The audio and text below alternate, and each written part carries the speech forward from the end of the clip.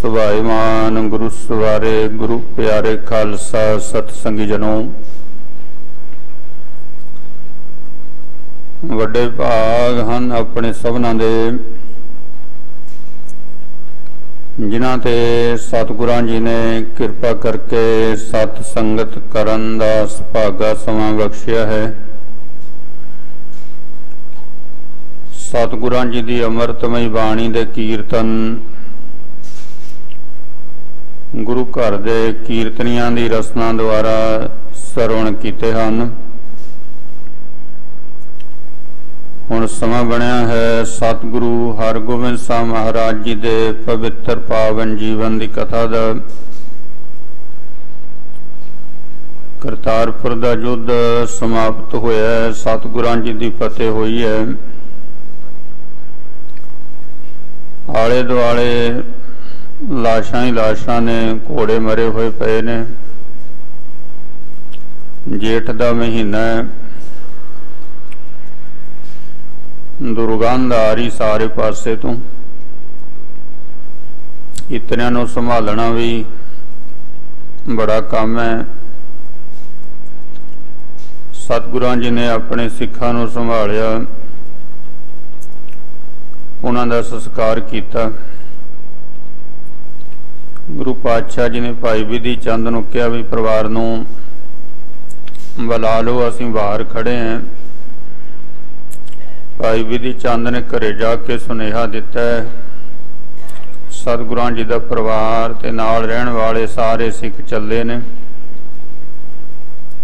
ਸ੍ਰੀ ਗੁਰੂ ਗ੍ਰੰਥ ਸਾਹਿਬ ਜੀ ਦਾ ਸਵਾਰਾ ਲੈਣ ਵਾਸਤੇ ਗਏ। ਧੀਰਮਲ ਨੇ ਟਾਲ ਮਟੋਲ ਕੀਤੀ। ਸਤਿਗੁਰਾਂ ਜੀ ਨੇ ਕਿਹਾ, ਕੋਈ ਗੱਲ ਨਹੀਂ ਵਿਧੀ ਚੰਦ। ਇਹ ਸਾਡੇ ਤਾਏ ਦੇ ਰਾਹ ਤੇ ਤੁਰਨ ਵਾਲਾ ਕਹਿੰਦਾ, ਮਹਾਰਾਜ, ਸੰਪੂਰਨ ਨਹੀਂ ਹੈ ਆਪਣੇ ਕੋਲ ਸਰੂਪ। ਸਤਿਗੁਰੂ ਜੀ ਕਹਿੰਦੇ, ਹੋ ਜਾਏਗਾ, ਕੋਈ ਗੱਲ ਨਹੀਂ। ਥਾਂ ਥਾਂ ਤੇ ਸਤਿਗੁਰਾਂ ਜੀ ਦੇ ਪਾਵਨ ਸਰੂਪ ਲਿਖੇ ਜਾਣਗੇ, ਪ੍ਰਕਾਸ਼ ਹੋਣਗੇ। ਇਉਂ ਸਤਿਗੁਰੂ ਜੀ ਆਪਣੇ ਪਰਿਵਾਰ ਨੂੰ ਲੈ ਕੇ ਖੱਬੇ ਪਾਸੇ ਕਰਕੇ ਸੱਜੇ ਪਾਸੇ ਆਪ ਚੱਲਦੇ ਨੇ। ਨਾਲ ਨਾਲ ਸਤਿਗੁਰਾਂ ਜੀ ਦਾ ਸਾਰਾ ਪਰਿਵਾਰ ਹੈ ਬਚੇ ਹੋਏ ਸਿੱਖ ਨੇ। ਪਿੱਛੇ ਸਤਿਗੁਰਾਂ ਜੀ ਦੇ ਯੁੱਧ ਦੀਆਂ ਗੱਲਾਂ ਹੋ ਰਹੀਆਂ ਨੇ। ਕਿ ਸਤਿਗੁਰਾਂ ਜੀ ਤੋਂ ਬਿਨਾ ਐਸਾ ਕੋਈ ਨਹੀਂ ਕਰ ਸਕਦਾ। ਕਿ ਇਤਨੀ ਚੜ ਕੇ ਆਈ ਹੋਈ ਸੈਨਾ ਨੂੰ ਸਤਿਗੁਰੂ ਜੀ ਪੰਜ ਪੈਰ ਤੋਂ ਪਹਿਲਾਂ ਪਹਿਲਾਂ ਹੀ ਖਪਾ ਕੇ ਜਿੱਤ ਦੇ ਨਗਾਰੇ ਵਜਾਉਂਦੇ ਹੋਏ ਅੱਗੇ ਚਲੇ ਜਾਂਦੇ। ਇਥੋਂ ਕਥਾ ਦੀ ਰਮਤਾ ਹੁੰਦੀ ਹੈ। ਆਓ ਰਸਨਾ ਤੇ ਮੁਖ ਨੂੰ ਕਰੀਏ ਪਵਿੱਤਰ। ਬੋਲੋ ਜੀ, ਸਤਨਾਮ ਸ੍ਰੀ ਵਾਹਿਗੁਰੂ ਸਾਹਿਬ ਜੀਓ। ਸਤਨਾਮ ਸ੍ਰੀ ਵਾਹਿਗੁਰੂ ਸਾਹਿਬ ਜੀਓ। ਮੋਰਾ ਚਾਰ ਮਤਾਬੇ ਬਹੁ ਜਰੇ ਸੰਗਮ ਸਾਲ ਅਨੇਕ। ਚਾਰ ਨੇ ਮਤਾਬੀਆਂ ਨੇ ਮਸਾਲਾ ਨੇ ਅਨੇਕਾਂ ਹੀ ਕਿਉਂਕਿ ਸਤਿਗੁਰੂ ਜੀ ਰਾਤ ਨੂੰ ਚੱਲੇ ਨੇ। ਰੋਸ਼ਨੀ ਦਾ ਪ੍ਰਬੰਧ ਕੀਤਾ ਗਿਆ ਹੈ ਅੱਗੇ ਅੱਗੇ। ਹੋਰੇ ਸਯੰਦਨ ਸੰਗ ਕੁਛ ਕੀਨਸ ਜਲਦ ਬਬੇਕ ਡੋਲੇ ਨੇ ਰਾਤ ਨੇ ਗੱਡਿਆਂ ਦੇ ਵਿੱਚ ਸਮਾਨ ਘਰ ਦਾ ਅੱਗੇ ਅੱਗੇ ਤੋਰਿਆ ਸਤਿਗੁਰਾਂ ਜੀ ਨੇ। ਓ ਪਏ ਪਿਤਾ ਸਥਾਨ ਸੰਗੰਗ ਸਰਜਾਨ। ਸਤਿਗੁਰੂ ਅਰਜਨ ਦੇਵ ਮਹਾਰਾਜ ਜੀ ਦਾ ਪਾਵਨ ਸਥਾਨ ਹੈ ਗੰਗਸਰ ਜੋ ਖੂਹ ਲਵਾਇਆ ਹੋਇਆ ਕਰਤਾਰਪੁਰ ਦੇ ਵਿੱਚ। ਇਹ ਜਾਣ ਕੇ? ਕਾਰ ਬੰਧਨ ਕੇਨ ਸਪ੍ਰਸਥਾਨ। ਉੱਥੇ ਸਤਿਗੁਰਾਂ ਜੀ ਨੇ ਨਮਸਕਾਰ ਕੀਤੀ ਹੈ। ਫਿਰ ਉਥੋਂ ਅੱਗੇ ਚੱਲੇ ਨੇ। ਜਿਹੜੇ ਸਤਿਗੁਰਾਂ ਜੀ ਦੇ ਇਤਿਹਾਸਕ ਸਥਾਨ ਨੇ ਉਹਨਾਂ ਤੇ ਸਤਿਗੁਰੂ ਜੀ ਆਪ ਵੀ ਜਾਂਦੇ ਆਪ ਵੀ ਨਮਸਤਕ ਹੁੰਦੇ। ਵਿਸ਼ੇਸ਼ ਤੌਰ ਤੇ ਸਤਿਗੁਰੂ ਜੀ ਉੱਥੇ ਜਾ ਕੇ ਦੇ ਕਰਾਉਂਦੇ ਨੇ। ਫਿਰ ਇਤਿਹਾਸ ਉੱਥੇ ਲਿਖਿਆ ਹੋਇਆ ਹੈ ਜਿੱਥੇ ਪਹਿਲੇ ਗੁਰੂ ਸਾਹਿਬਾਨ ਜੀ ਆਏ, ਉੱਥੇ ਗੁਰੂ ਹਰਗੋਬਿੰਦ ਜੀ ਆਏ ਜਾਂ ਗੁਰੂ ਤੇਗ ਬਹਾਦਰ ਸਾਹਿਬ ਜੀ ਆਏ, ਦਸਵੇਂ ਪਾਤਸ਼ਾਹ ਜੀ ਆਏ। ਇਤਿਹਾਸ ਲਿਖਿਆ ਹੈ ਇੱਕੋ ਹੀ ਥਾਂ ਤੇ ਵੱਖਰੇ ਵੱਖਰੇ ਸਥਾਨ ਨੇ। ਹੁਣ ਜੇ ਪਹਿਲੇ ਗੁਰੂ ਸਾਹਿਬਾਨ ਜੀ ਦੇ ਸਥਾਨਾਂ ਤੇ ਅਗਲੇ ਸਤਿਗੁਰੂ ਜੀ ਜਾ ਰਹੇ ਨੇ ਤਾਂ ਫਿਰ ਇਹ ਕਹਿਣ ਦੀ ਕੋਈ ਤੁਕ ਨਹੀਂ ਰਹਿ ਜਾਂਦੀ ਵੀ ਉੱਥੇ ਜਾਣ ਦਾ ਕੀ ਫਾਇਦਾ ਹੈ ਗੱਜ ਕੇ ਆਖੋ ਸਤਨਾਮ ਵਾਹਿਗੁਰੂ। ਫਿਰ ਤੁਕ ਨਹੀਂ ਰਹਿ ਜਾਂਦੀ। ਤੋ ਸਤਿਗੁਰੂ ਜੀ ਗੁਰੂ ਅਰਜਨ ਦੇਵ ਮਹਾਰਾਜ ਜੀ ਦੇ ਪਾਵਨ ਸਥਾਨ ਗੰਗਸਰ ਨੂੰ ਨਮਸਕਾਰ ਕਰਕੇ ਚੱਲਦੇ ਹਨ। ਆਗੇ ਚੱਲੈ ਮਸਾਲੇ ਬ੍ਰਿੰਦ। ਅੱਗੇ ਮਸਾਲਾ ਜਾਗ ਰਹੀਆਂ ਹਨ ਬਰਿੰਦ ਬਹੁਤੀਆਂ। ਕਰਿਓ ਪਿਆਨ ਸ੍ਰੀ ਹਰ ਗੋਬਿੰਦ ਗੁਰੂ ਹਰਗੋਬਿੰਦ ਸਾਹਿਬ ਮਹਾਰਾਜ ਜੀ ਨੇ ਇਸ ਤਰ੍ਹਾਂ ਕਰਤਾਰਪੁਰ ਨੂੰ ਛੱਡਣਾ ਕੀਤਾ। ਸਨੇ ਸਨੇ ਗਮਨੇ ਮਗ ਬੜੇ ਜਾਹੇ ਆਰਾਮ ਦੇ ਨਾਲ ਸਤਿਗੁਰੂ ਜੀ ਜਾ ਰਹੇ ਨੇ ਜਿਹਦੇ ਵਿੱਚ ਕਵੀ ਜੀ ਨੇ ਇਸ਼ਾਰਾ ਕੀਤਾ ਵੀ ਸਤਿਗੁਰੂ ਜੀ ਨਿਰਭਉ ਨੇ। ਇਹ ਨਹੀਂ ਹੈ ਵੀ ਕਿਸੇ ਦਾ ਡਰ ਹੈ ਵੀ ਕਾਲੀ ਕਰਨੀ ਨਹੀਂ ਆਪਣੇ ਸਹਿਜ ਦੇ ਵਿੱਚ ਆਰਾਮ ਦੇ ਨਾਲ ਸਤਿਗੁਰੂ ਜੀ ਜਾਂਦੇ ਹਨ। ਵਜਹ ਨਗਾਰੇ ਬਹੁਤ ਫਿਰ ਤਾਹੇ। ਜਿੱਤ ਹੋਈ ਹੈ ਤੇ ਨਗਾਰੇ ਵੱਜ ਰਹੇ ਹਨ ਅੱਗੇ ਅੱਗੇ। ਸੈਨ ਸਕਲ ਕੋ ਆਏ ਸਬੇਨ। ਸਾਰੀ ਸੈਨਾ ਨੂੰ ਸਤਿਗੁਰਾਂ ਜੀ ਨੇ ਹੁਕਮ ਕੀਤਾ ਜਿਹੜੇ 2200 ਘੋੜ ਸਵਾਰ ਬਚੇ ਨੇ। 3000 ਦੀ ਸੈਨਾ ਸੀ ਕਰਤਾਰਪੁਰ ਦੇ ਵਿੱਚ ਸਤਿਗੁਰਾਂ ਜੀ ਦੇ ਕੋਲ। 800 ਸਿੱਖ ਉੱਥੇ ਸ਼ਹੀਦ ਹੋਇਆ ਤੇ ਦੂਸਰੇ ਪਾਸੇ 1 ਲੱਖ ਦੀ ਸੈਨਾ ਕਪਾਈ ਹੈ। ਉਹਨਾਂ ਸੈਨਾ ਨੂੰ ਸਤਿਗੁਰਾਂ ਜੀ ਨੇ ਕਹਿਣਾ ਕੀਤਾ ਸ੍ਰੀ ਗੁਰ ਦਿੱਤੇ ਕੇ ਸੰਗ ਕੀਨ। ਬਾਬਾ ਗੁਰਦਿੱਤਾ ਜੀ ਦੇ ਨਾਲ ਤੋਰਿਆ ਸਾਰਿਆਂ ਨੂੰ। ਸਭ ਕੁਟੰਬ ਕੇ ਸੰਗ ਰਹੇ ਜੈ। ਹੁਕਮ ਵੀ ਭਾਈ ਜਿਹੜਾ ਪਰਿਵਾਰ ਹੈ ਨਾ ਉਹਦੇ ਵਿੱਚ ਬੀਬੀਆਂ ਨੇ ਬੱਚੇ ਨੇ ਤੇ ਉਹਨਾਂ ਦੇ ਨਾਲ ਰਹਿਣਾ ਸੈਨਾ ਨੇ ਜ਼ਰੂਰੀ। ਸਾਵਧਾਨ ਹੋਏ ਕੈ ਗਮਨੀ ਪੂਰੀ ਜੈ ਸਾਵਧਾਨੀ ਦੇ ਨਾਲ ਚੱਲਣਾ। ਦੁਸ਼ਮਣ ਦਾ ਇਤਵਾਰ ਨਹੀਂ ਕਰੀਦਾ। ਸਾਵਧਾਨੀ ਰੱਖਣੀ ਦੁਸ਼ਮਣ ਵੱਲੋਂ। ਕਿਤਕ ਸੌਰ ਸੰਗ ਨਿਜ ਲੀਨੈ। ਕੁਝ ਕੁ ਘੋੜ ਸਵਾਰ ਸਤਿਗੁਰਾਂ ਜੀ ਨੇ ਆਪਣੇ ਨਾਲ ਲਏ ਹਨ। ਤਾਜ ਮਗ ਭਾਮ ਪਿਆਨ ਕੀਨੈ। ਸੱਜਾ ਹੱਥ ਸਤਿਗੁਰਾਂ ਜੀ ਨੇ ਛੱਡਿਆ ਪਰਿਵਾਰ ਵਾਲਾ ਤੇ ਖੱਬੇ ਪਾਸੇ ਗੁਰੂ ਜੀ ਹੋਏ ਹਨ। ਸ਼ਾਮ ਜਾਮਨੇ ਭਈ ਬਤੀਤ। ਇਸ ਤਰ੍ਹਾਂ ਰਾਤ ਜਦੋਂ ਕਾਫੀ ਬਤੀਤ ਹੋ ਜਾਂਦੀ ਹੈ। ਰਾਤ ਹੈਰ ਸਭ ਕੇ ਮੁਦ ਚੇਤ। ਸਵੇਰ ਹੋਈ ਹੈ ਸਭ ਨੂੰ ਖੁਸ਼ੀ ਹੋਈ ਹੈ। ਅੰਤ ਹੈ ਪੁਰਸੋਂ ਚਮੂ ਬਡੇਰੇ ਘਰੋਂ ਜਿਹੜੀ ਸੈਨਾ ਆਈ ਹੈ। ਗਮਨ ਕਰਤ ਰਜ ਉਠਤ ਕਨੇਰੇ। ਉਹਨਾਂ ਦੇ ਚੱਲਣ ਦੇ ਨਾਲ ਮਿੱਟੀ ਘਟਾ ਉੱਡਦਾ। ਸੂਦੇ ਪੰਥ ਚੱਲੇ ਸਭ ਜਾਏ ਸਾਰੇ ਚਲੇ ਜਾ ਰਹੇ ਹਨ ਸ਼੍ਰੀ ਕੀਰਤ ਵੱਲ ਨੂੰ ਰਾਮ ਨਗਰ ਉਲੰਘਤ ਰਸਤੇ ਸਮੁਦਾਏ ਦੇ ਵਿੱਚ ਛੋਟੇ ਵੱਡੇ ਪਿੰਡਾਂ ਨੂੰ ਲੰਘਦੇ ਹੋਏ। ਤੇ ਸਾਦਾ ਹੈ ਨੇ ਸਤਗੁਰ ਜਾਤੇ ਸਤਿਗੁਰੂ ਜੀ ਜਾਂਦੇ ਹਨ ਆਪ ਖੱਬੇ ਹੱਥ। ਭਾਰਤ ਜੁਦ ਕੇ ਬਹੁ ਬਿਦ ਨਾਲੇ ਬਾतें ਯੁੱਧ ਦੀਆਂ ਗੱਲਾਂ ਬਾਤਾਂ ਕਰਦੇ ਹਨ। ਵੇਦੇ ਚੰਦ ਤੇ ਆਦ ਜੇ ਸੰਗ। ਭਾਈ ਵਿਧੀ ਚੰਦ ਤੇ ਹੋ ਜਿਹੜੇ ਸਿੱਖ ਸੂਰਮੇ ਨਾਲ ਨੇ। ਕਹਿਤ ਪਇਓ ਪ੍ਰਭ ਦੀਰਗ ਜੰਗ। ਮਹਾਰਾਜ ਬਹੁਤ ਵੱਡਾ ਜੰਗ ਹੋਇਆ ਇਹ। ਸ਼ਾਮ ਦਿਵਸ ਜਬ ਹੀ ਚੜ ਆਇਓ। ਜਦੋਂ ਪਹਿਰਕ ਦਿਨ ਚੜ ਆਇਆ ਛਾਇਆ ਸਹਿਤ ਕੂਪ ਦਰਸਾਇਓ। ਵੇਖਣਾ ਕੀਤਾ ਖੂ ਛਾਇਆ ਜਿਹਦੇ ਉੱਤੇ ਦਰਖਤ ਹਨ। ਉਤਰੇ ਹੇਰਿਓ ਰਮ ਸਥਾਨ। ਰਮਣੀਕ ਥਾਂ ਵੇਖ ਕੇ ਉਤਾਰਾ ਕਰ ਲਿਆ। ਸੀਤਲ ਨੀਰ ਕਰਤ ਪੇ ਪਾਨ ਸਾਰਿਆਂ ਨੇ ਠੰਡਾ ਜਲ ਛਕਣਾ ਕੀਤਾ। ਕਿਤਕ ਸਮੈ ਬੈਠੇ ਸੁਖ ਪਾਇਓ। ਸਮਾਂ ਆਰਾਮ ਕਰਨਾ ਕੀਤਾ। ਵਿਦੇ ਚੰਦ ਸੋ ਬਾਕ ਸੁਨਾਇਓ। ਭਾਈ ਵਿਧੀ ਚੰਦ ਨੂੰ ਸਤਿਗੁਰੂ ਜੀ ਕਹਿਣ ਲੱਗੇ ਸਾਹਿਬ ਜਾਤੇ ਚਮੋ ਅਸ਼ੇਖ। ਸਤਿਗੁਰੂ ਜੀ ਕਹਿੰਦੇ ਭਾਈ ਸਾਹਿਬਜ਼ਾਦੇ ਤੇ ਜਿਹੜੀ ਸੈਨਾ ਹੈ। ਕਿਤਕ ਦੂਰ ਪਾਛੇ ਲਿਹੁ ਦੇਖ। ਉਹਨਾਂ ਕਿੰਨਾ ਕੁ ਫ਼ਰਕ ਹੈ ਦੇਖ ਲੈਣਾ ਕਰੋ।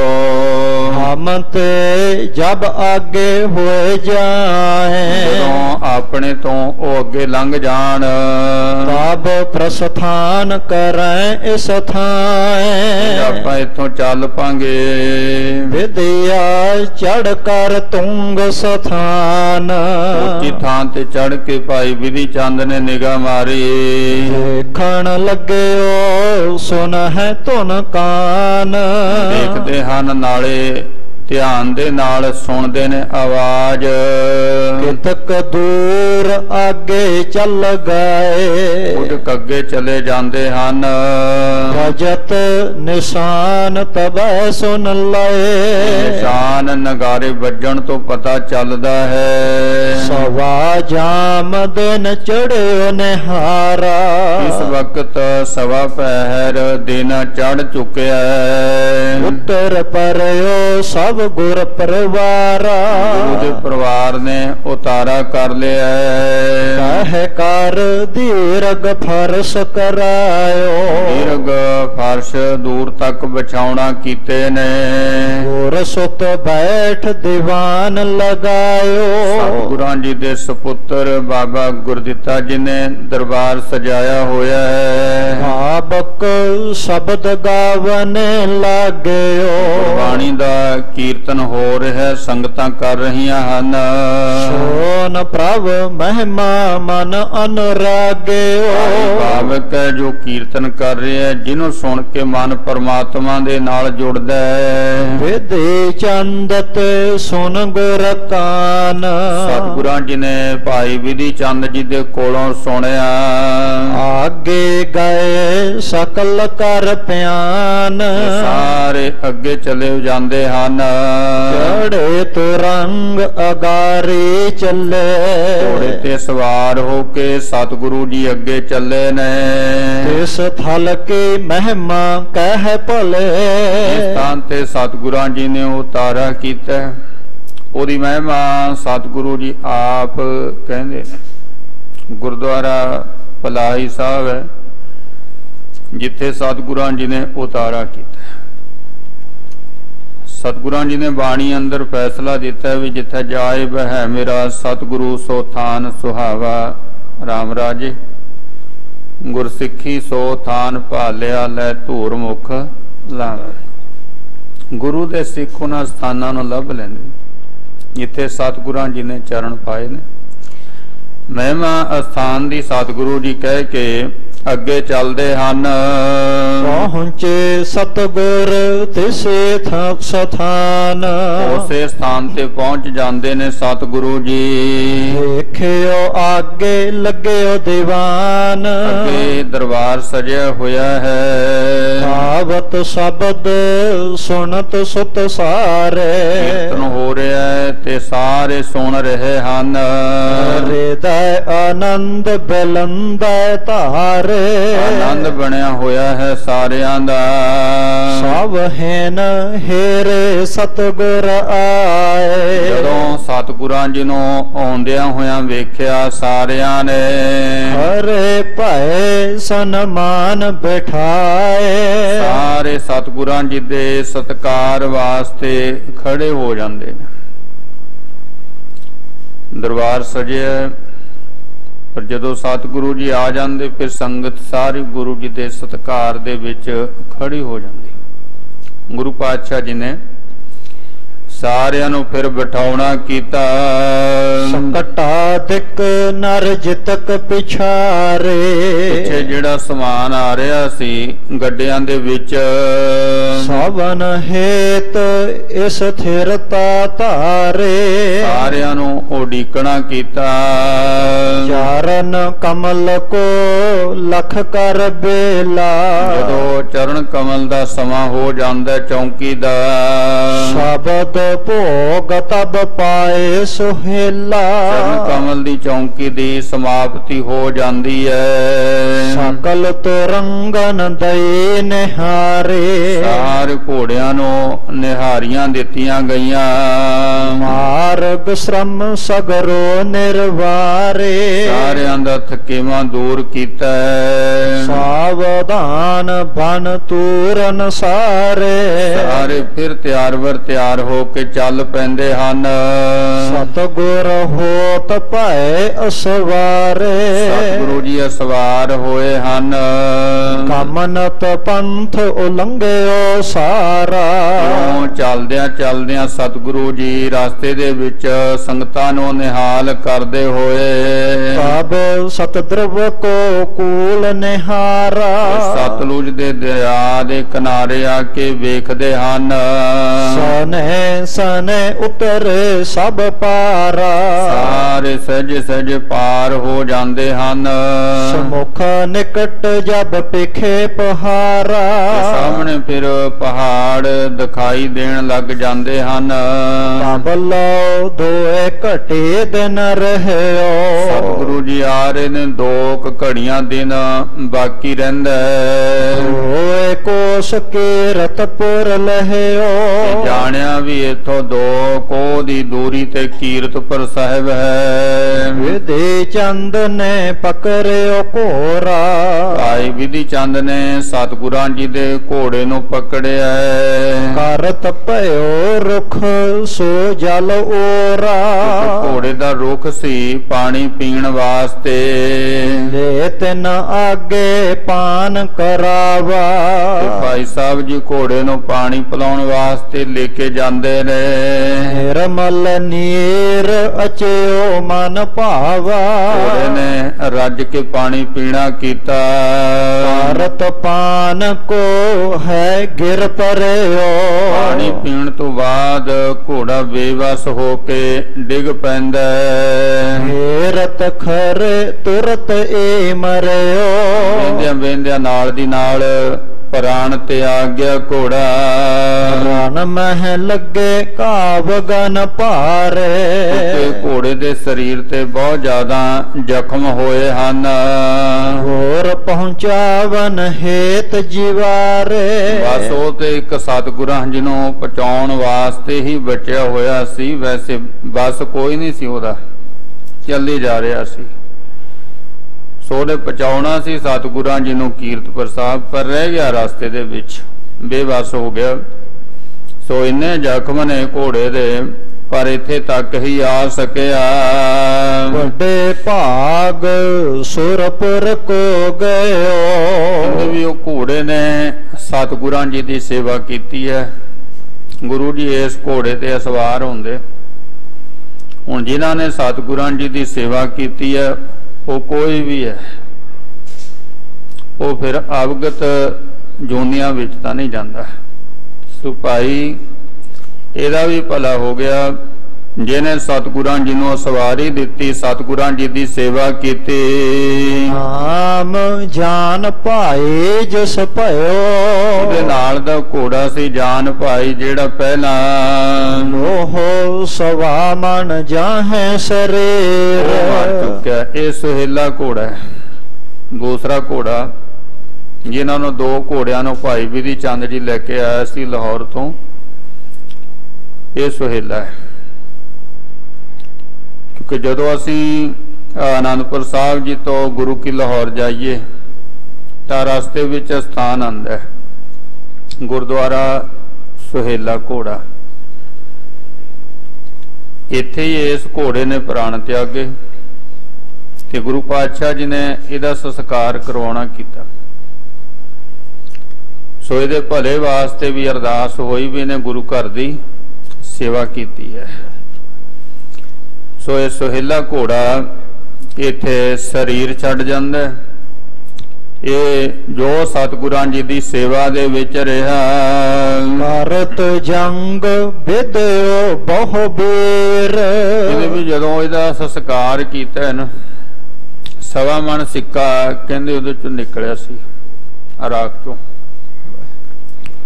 18 18.5 ਕਿਲੋ ਦੇ ਹਿਸਾਬ ਨਾਲ ਜਿਹੜਾ ਮਣ ਹੁੰਦਾ ਸੀ ਉਦੋਂ 20 22 ਕਿਲੋ।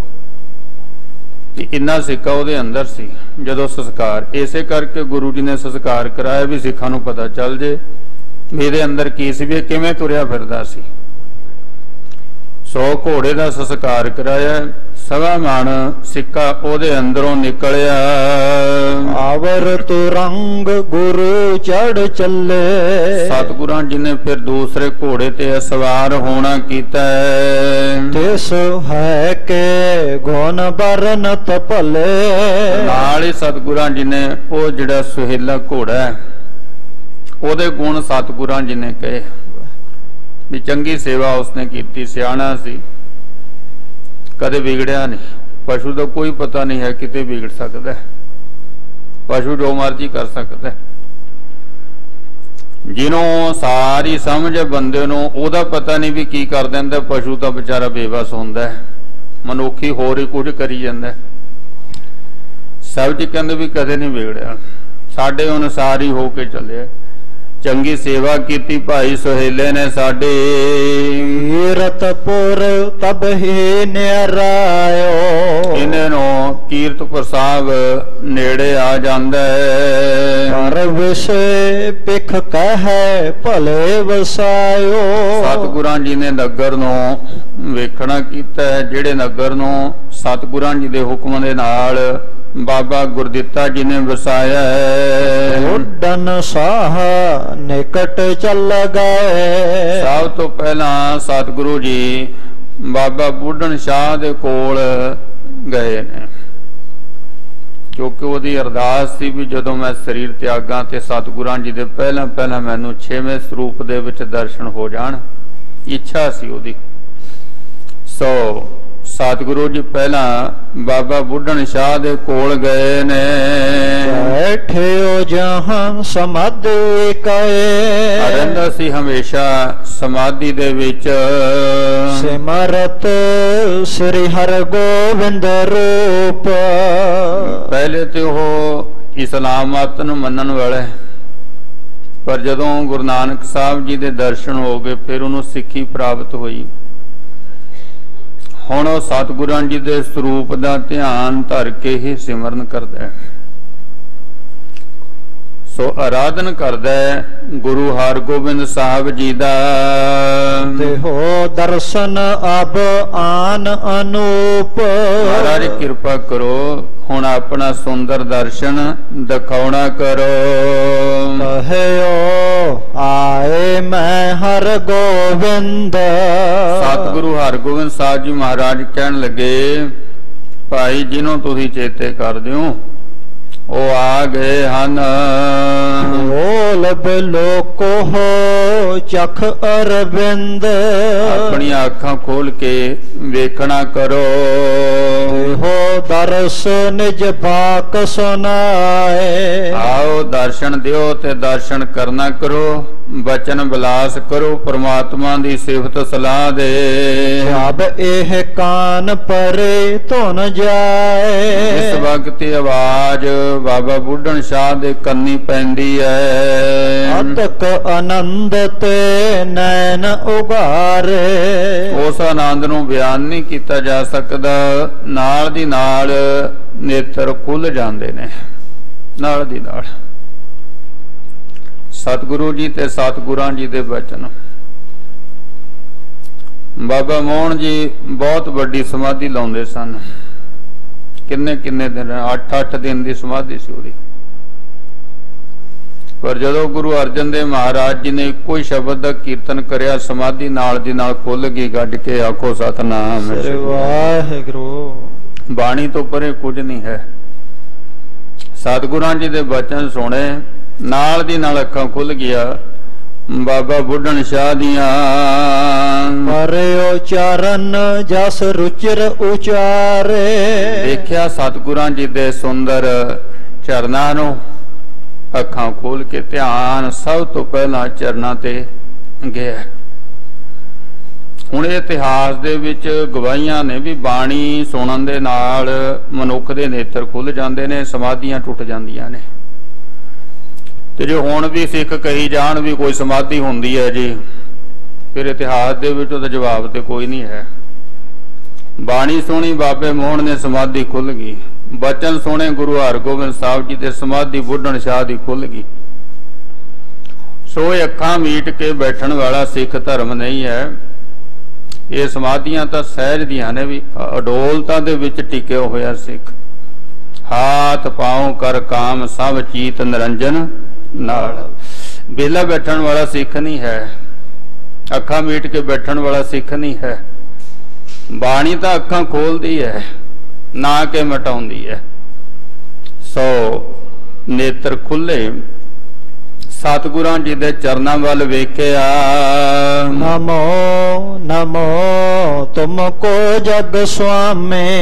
ਹੁਣ ਨਮਸਕਾਰ ਕਰਦੇ ਨੇ ਆ ਜਗਤ ਦੇ ਮਾਲਕ। ਮੇਰੀ ਵਾਰ-ਵਾਰ ਨਮਸਕਾਰ ਹੈ ਆਪ ਜੀ ਨੂੰ। ਨਮੋ ਨਮੋ ਪ੍ਰਭ ਅੰਤਰ ਜਾਮੇ ਤੁਸੀਂ ਪਰਮੇਸ਼ਰ ਹੋ ਤੇ ਸਭ ਦੇ ਅੰਦਰ ਦੀ ਜਾਣਨ ਵਾਲੇ ਹੋ ਨਮੋ ਨਮੋ ਗਨ ਤੁਰ ਕਨ ਹਰਤਾ। ਉਹਨਾਂ ਨੇ ਸੁਣਿਆ ਵੀ ਸਤਿਗੁਰਾਂ ਜਿੱਦਾਂ ਯੁੱਧ ਹੈ ਤੁਰਕਾਂ ਦੇ ਨਾਲ ਉਹਨਾਂ ਨੂੰ ਨਾਸ਼ ਕਰਕੇ ਹੁਣ ਇੱਧਰ ਆ ਰਹੇ ਨੇ। ਮੁਗਲ ਮਾਰ ਗੁਰੂ ਜੀ ਦਾ ਨਾਮ ਪੈ ਗਿਆ ਸੀ। ਵੀ ਇਹ ਤਾਂ ਮੁਗਲਾਂ ਨੂੰ ਮਾਰਨ ਵਾਸਤੇ ਆਏ। ਧੰਨੋ ਆਪ ਤੁਰਕਾਂ ਦੇ ਨਾਸ਼ ਕਰਨ ਵਾਲੇ। ਨਮੋ ਨਮੋ ਉਜਲ ਜਸ ਕਰਤਾ। ਆਪ ਜੀ ਦਾ ਉਜਲ ਪਾਵਨ ਜਸ। ਜਿੱਥੇ ਕਿਥੇ ਹੋ ਰਿਹਾ ਹੈ। ਸਚ ਦਾ ਆਨੰਦ ਸਰੂਪ ਤੁਮਾਰਾ।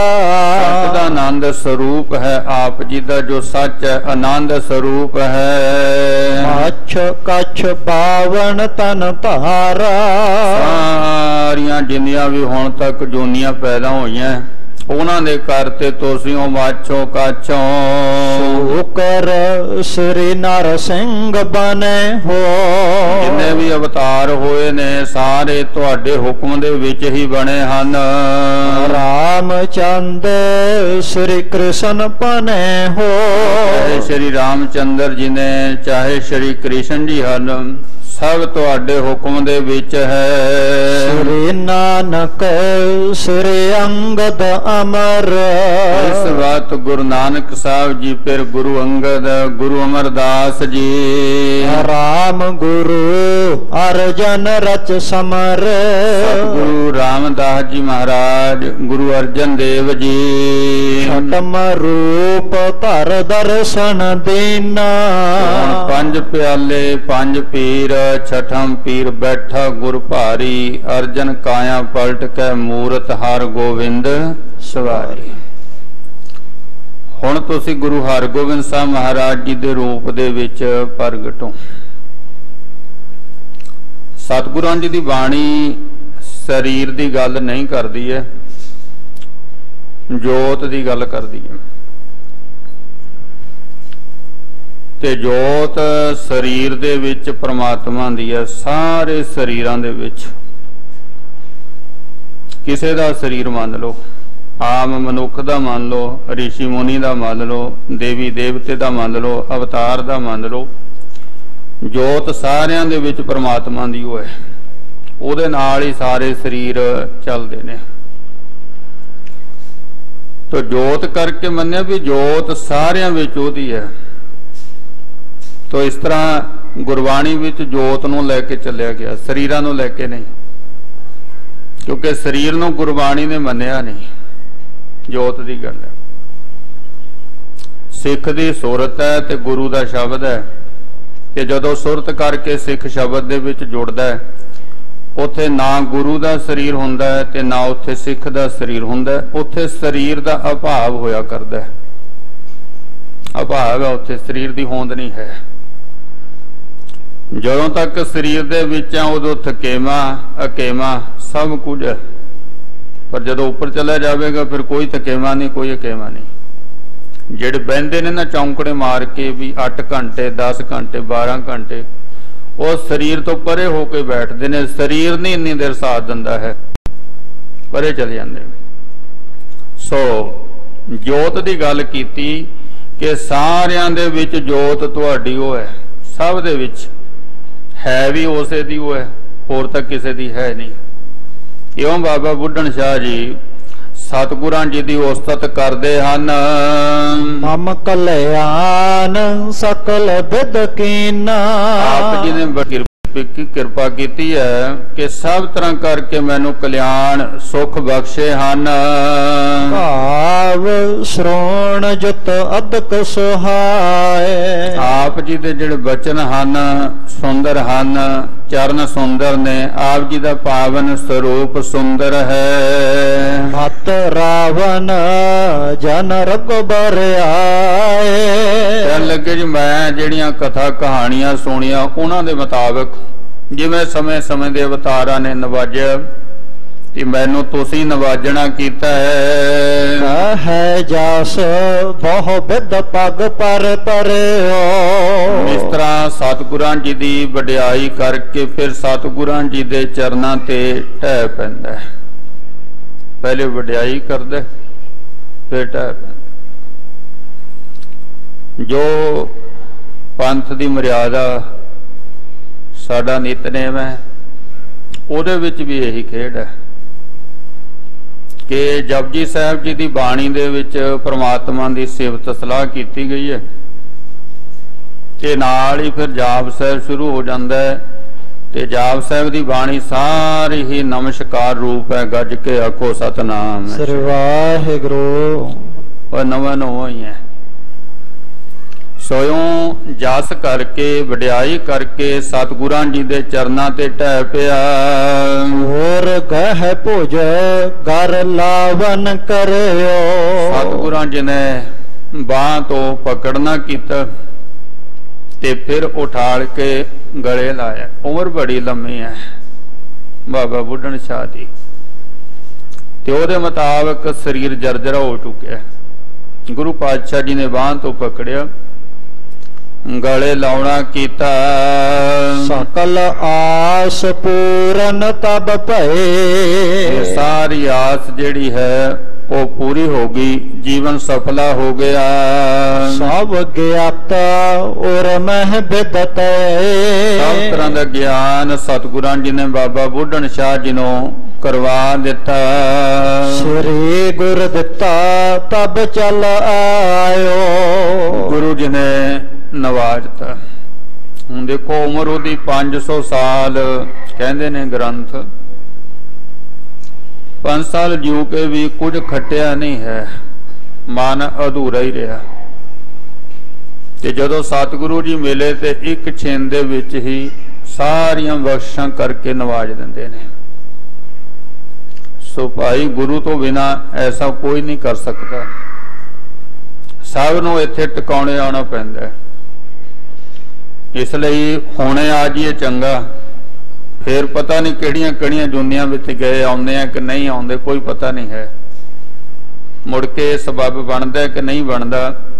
ਇਸ ਲਈ ਭਾਈ ਐਸੇ ਸਤਿਗੁਰਾਂ ਜੀ ਨੂੰ ਮਿਲ ਕੇ ਉਪਦੇਸ਼ ਲੈ ਕੇ ਆਪਣੇ ਜੀਵਨ ਨੂੰ ਸਫਲਾ ਕਰ ਲਈਏ। 500 ਸਾਲ ਦੇ ਵਿੱਚ ਪ੍ਰਾਪਤੀ ਨਹੀਂ ਹੋਈ ਤੇ ਅੱਜ ਪ੍ਰਾਪਤੀ ਹੋਈ ਹੈ। ਨਿਹਾਲ ਕੀਤਾ ਸਤਿਗੁਰਾਂ ਜੀ ਨੇ ਇਤਨੇ ਨੂੰ।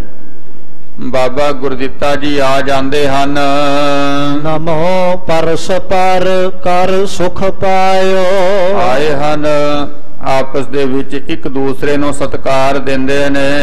ਸਤਗੁਰ ਭਨਿਓ ਜਾਏ ਹਮ ਡੇਰੇ।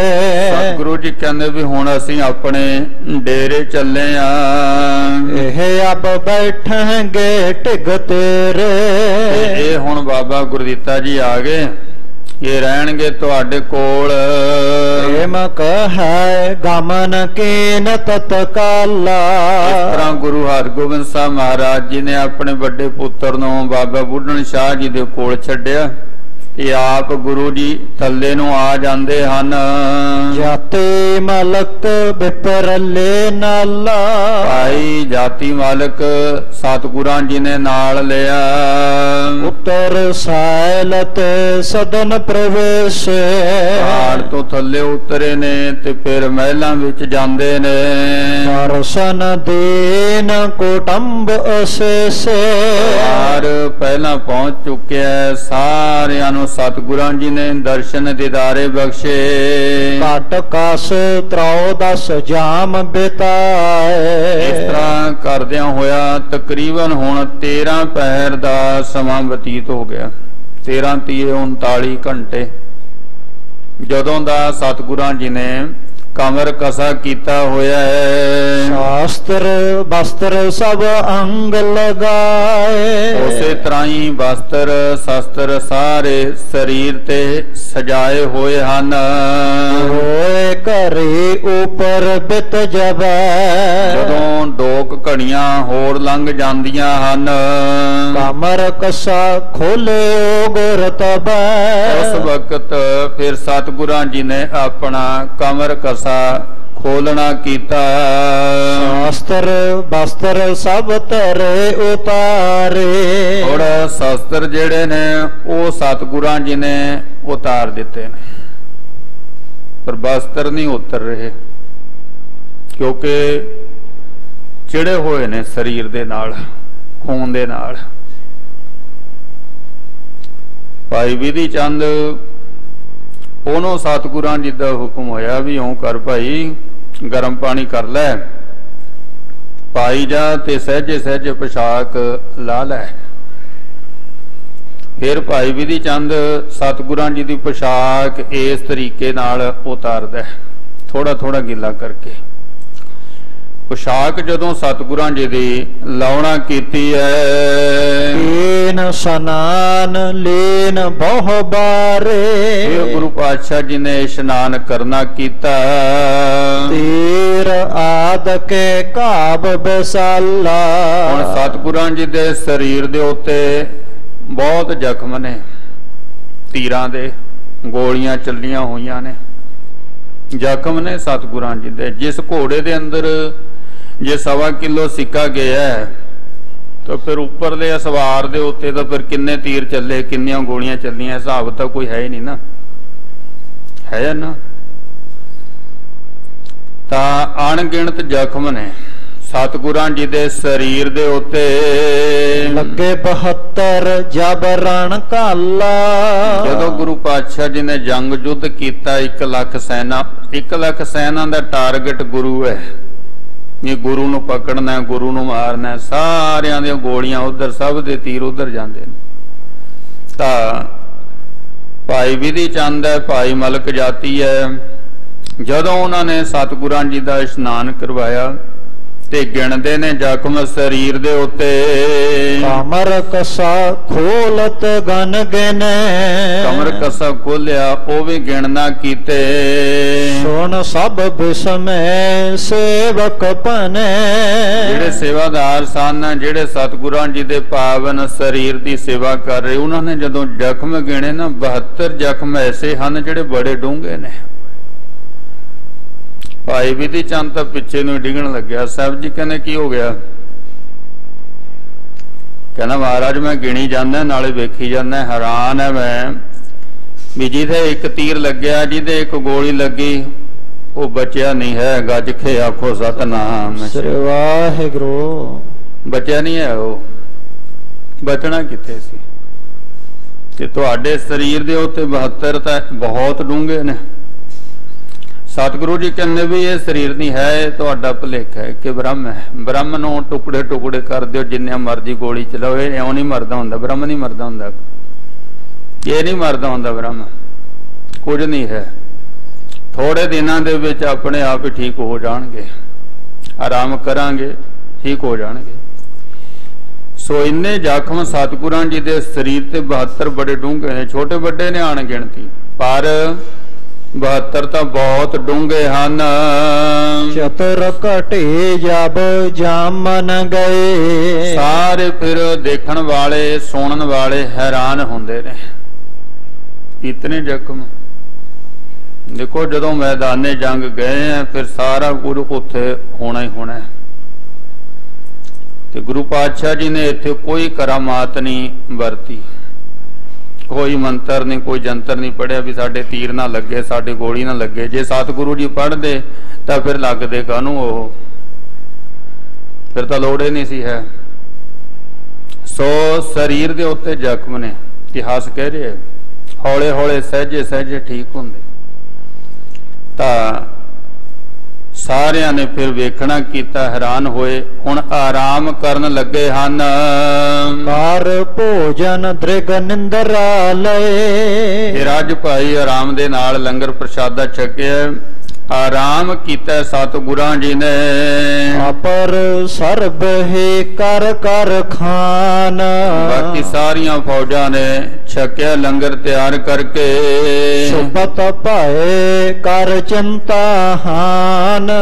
ਹੁਣ ਭਾਈ ਇੱਥੇ ਕਰਤਾਰਪੁਰ ਦੇ ਜੰਗ ਤੋਂ ਵਿਹਲੇ ਹੋ ਕੇ ਕਿ ਹੁਣ ਫਿਕਰ ਨਹੀਂ ਕੋਈ ਰਿਹਾ ਵੀ ਜੇ ਸਮਝਦਾਰ ਹੋਣਗੇ ਹੁਣ ਤਾਂ ਨਹੀਂ ਕੋਈ ਆਉਣ ਲੱਗਿਆ। ਜੇ ਨਾ ਸਮਝੇ ਫਿਰ ਆਈ ਜਾਣਗੇ। ਨਿਸ਼ਚਿੰਤ ਹੋ ਕੇ ਆਰਾਮ ਕਰਦੇ ਨੇ।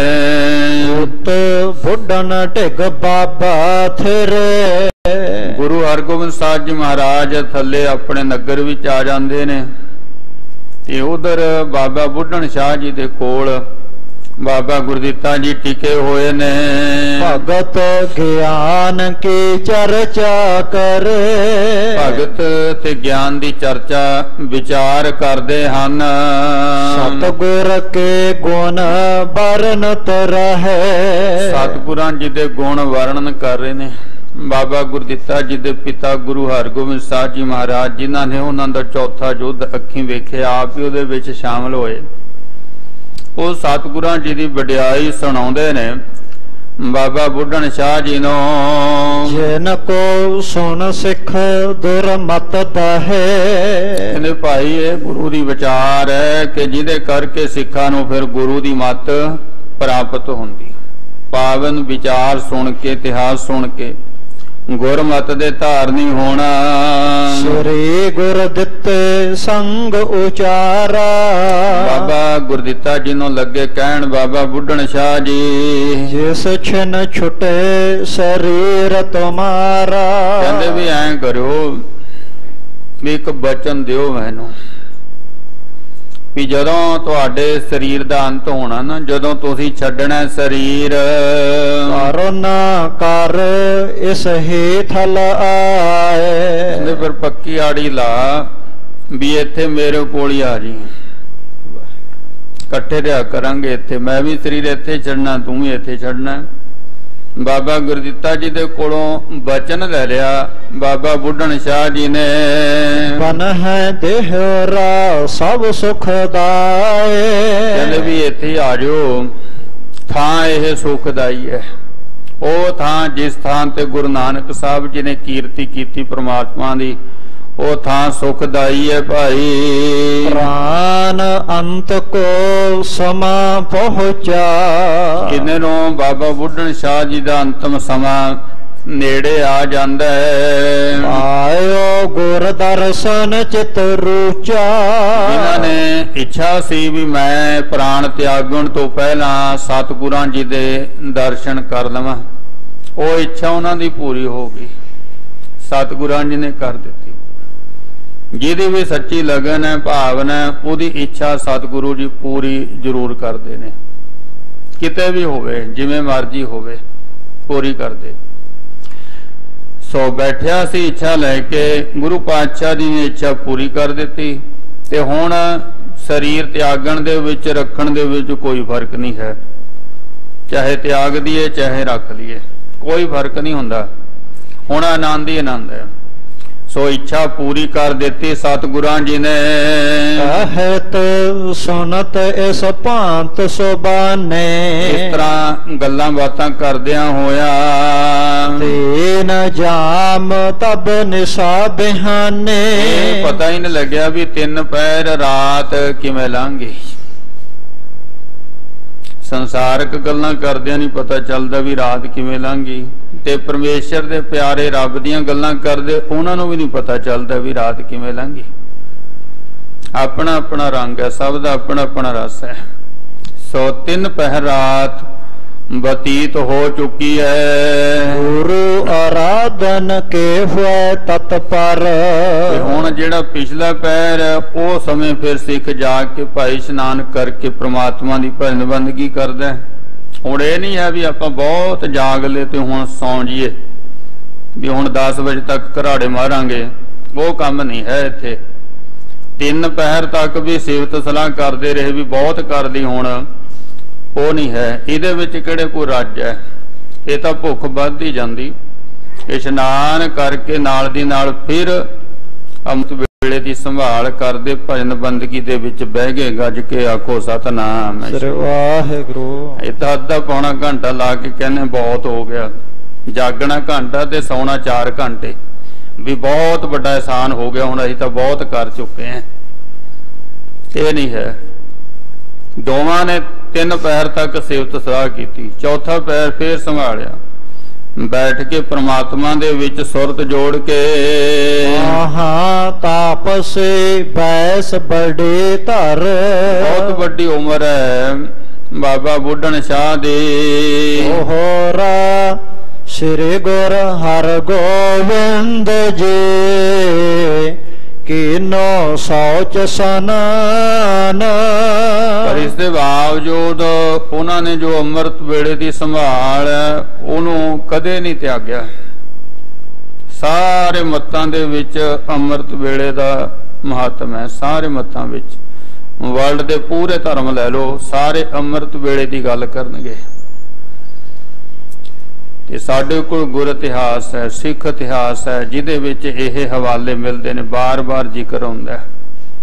ਬਾਣੀ ਨੇ ਫੈਸਲਾ ਦਿੱਤਾ ਵੀ ਚੌਥਾ ਪੈਰ ਸਵਾ ਕੈ ਸੂਰਤਿਆਂ ਉਪਜੈ ਚਾਓ, ਤਿਨਾਂ ਦਰਿਆਵਾਂ ਸਿਓ ਦੋਸਤੀ, ਮਾਨ, ਮੁਖ, ਸੱਚਾ ਨਾਮ ਹੁਣ ਇਹ ਗੁਰਬਾਣੀ ਤਾਂ ਚੌਥਾ ਪੈਰ ਕਹਿ ਰਹੀ ਹੈ, ਇਹਨੂੰ ਤਾਂ ਨਹੀਂ ਆਪਾਂ ਅੱਗੇ ਪਿੱਛੇ ਕਰ ਸਕਦੇ।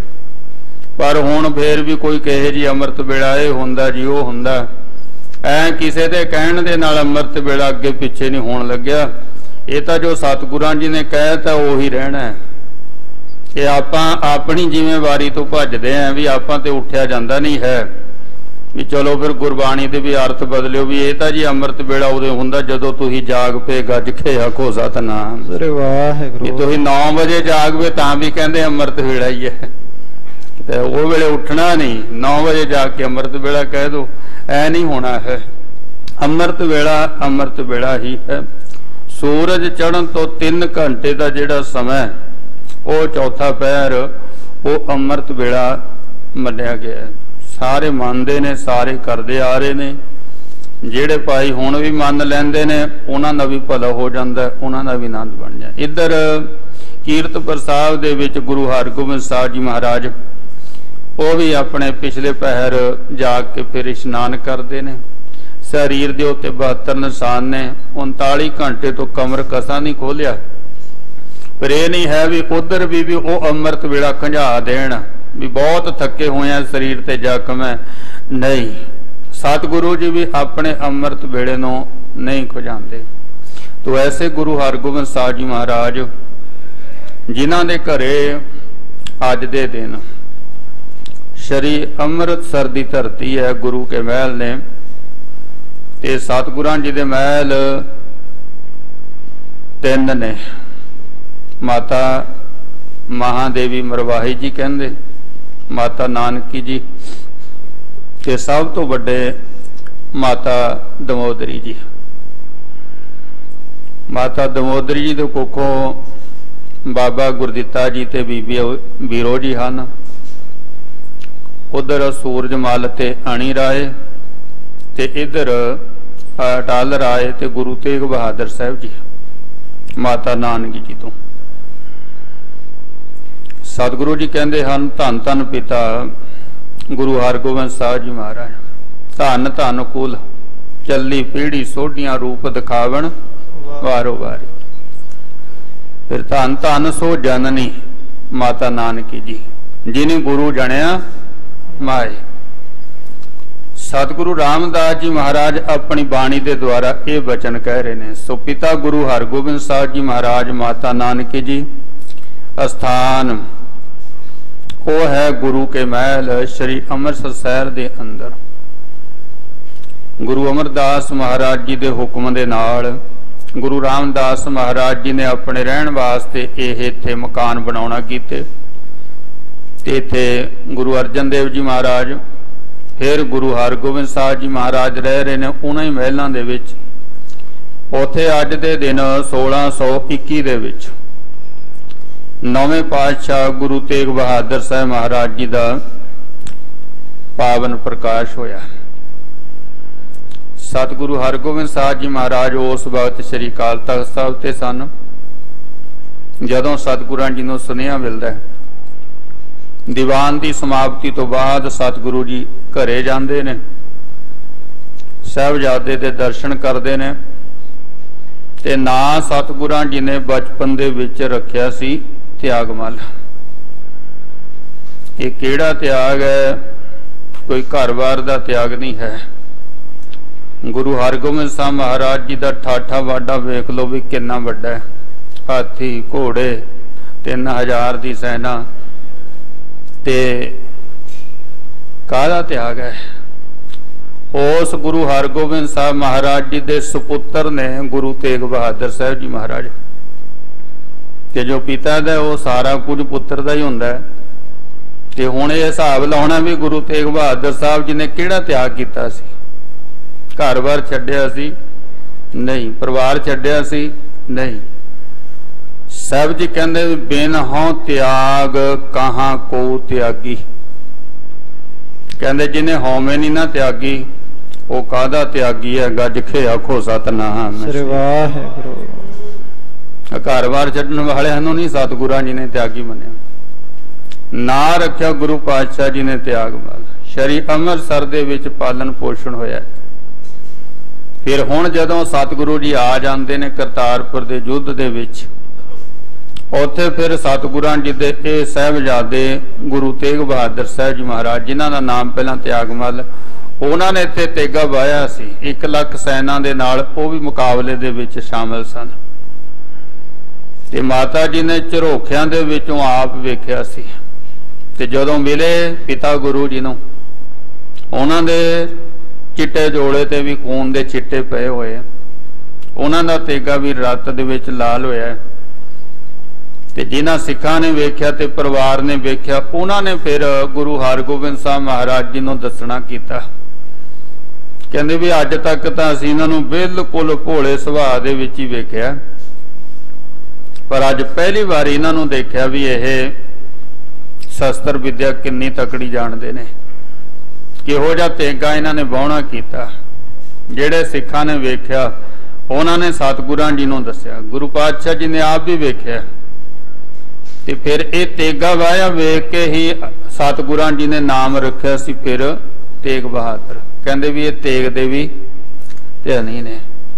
ਤਿਆਗ ਦੇ ਵਿੱਚ ਵੀ ਇਹ ਪੂਰੇ ਨੇ ਤੇ ਤੇਗ ਦੇ ਵੀ ਉਹ ਧਨੀ ਹਨ। ਬੜੀ ਕਿਰਪਾ ਕੀਤੀ ਗੁਰੂ ਤੇਗ ਬਹਾਦਰ ਸਾਹਿਬ ਮਹਾਰਾਜ ਜੀ ਨੇ ਇਸ ਇਲਾਕੇ ਦੇ ਉੱਤੇ, ਆਪਣੇ ਇਹਨਾਂ ਸਥਾਨਾਂ ਦੇ ਉੱਤੇ, ਖਾਸ ਕਰਕੇ ਸ਼ਹਿਰ ਦੇ ਉੱਤੇ।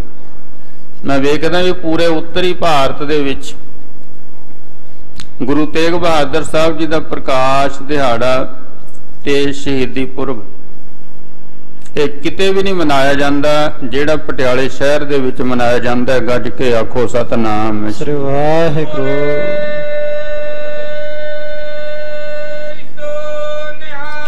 ਸਤਿ ਸ੍ਰੀ ਅਕਾਲ। ਪੂਰੇ ਉੱਤਰੀ ਭਾਰਤ ਦੇ ਵਿੱਚ। ਇੰਨੀਆਂ ਵੱਡੀਆਂ ਸਤਿਗੁਰਾਂ ਜੀ ਨੇ ਬਖਸ਼ਿਸ਼ਾਂ ਕੀਤੀਆਂ ਹੋਈਆਂ ਨੇ ਅਣਗਿਣਤ ਸੰਗਤਾਂ ਆਨੰਦ ਮਾਣਦੀਆਂ ਗੁਰੂ ਗੋਬਿੰਦ ਸਿੰਘ ਮਹਾਰਾਜ ਜੀ ਨੇ ਫੈਸਲਾ ਦੇ ਦਿੱਤਾ ਵੀ ਤੇਗ ਬਹਾਦਰ ਸਿਮਰਿਆ ਕਰ ਨੌ ਨਿਧਾਵੇ ਧਾਏ ਸਭ ਥਾਈ ਹੋਏ। ਨੌ ਨਿਧੀਆਂ ਦੁਨੀਆ ਦੇ ਖਜ਼ਾਨੇ ਵੀ ਤੇ ਨਾਮ ਵੀ ਨੌ ਨਿਧੀਆਂ ਉਹ ਵੀ ਪ੍ਰਾਪਤ ਹੁੰਦਾ ਹੈ। ਤੇ ਜਿੱਥੇ ਮਰਜ਼ੀ ਗੁਰੂ ਤੇਗ ਬਹਾਦਰ ਸਾਹਿਬ ਮਹਾਰਾਜ ਜੀ ਨੂੰ ਯਾਦ ਕਰ ਲਓ, ਉੱਥੇ ਹੀ ਸਤਿਗੁਰੂ ਜੀ ਸਹਾਇਤਾ ਕਰਦੇ। ਸਮੁੰਦਰ ਦੇ ਵਿੱਚ ਮੱਖਣ ਸ਼ਾਹ ਨੇ ਯਾਦ ਕੀਤਾ। ਜਦੋਂ ਕਿ ਉਹ ਜਾਣਦਾ ਨਹੀਂ ਸੀ ਹੈ ਵੀ ਗੁਰੂ ਕੌਣ ਹੈ। ਉਹਨੂੰ ਨਹੀਂ ਸੀ ਪਤਾ। ਹਾਲੇ ਤਾਂ ਸੰਗਤਾਂ ਨੂੰ ਨਹੀਂ ਸੀ ਪਤਾ। ਸਤਿਗੁਰੂ ਜੀ ਗੁਬਤ ਵਰਤ ਰਹੇ ਸਨ। ਪਰ ਉਹਦੀ ਅਰਦਾਸ ਸੁਣ ਕੇ ਸਤਿਗੁਰਾਂ ਜੀ ਨੇ ਉਹਦਾ ਬੇੜਾ ਬੰਨੇ ਲਾ ਦਿੱਤਾ।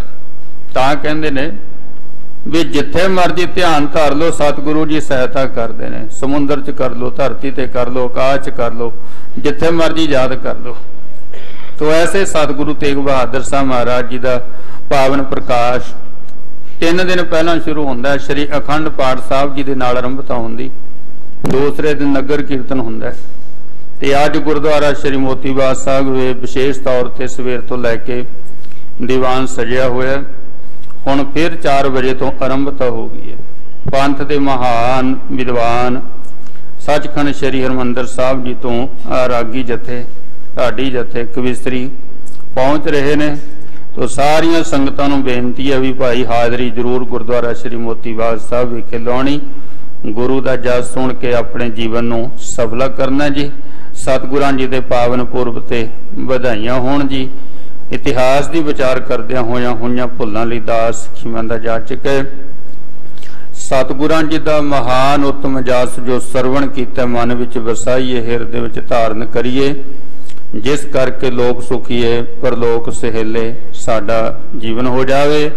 ਵਾਹਿਗੁਰੂ ਜੀ ਕਾ ਖਾਲਸਾ। ਵਾਹਿਗੁਰੂ ਜੀ ਕੀ ਫਤਿਹ। ਅਜੁਤ ਹੈ ਪਾਰ ਬ੍ਰਹਮ ਅਬਨਾਸੀ ਅਗਨਾਸ। ਏ ਪੂਰਨ ਹੈ ਸਰਬ ਮੈਂ ਦੁਖ ਭੰਜਨ ਗੁਣ ਗੁਣਤਾਸ ਏ ਸੰਗੀ ਹੈ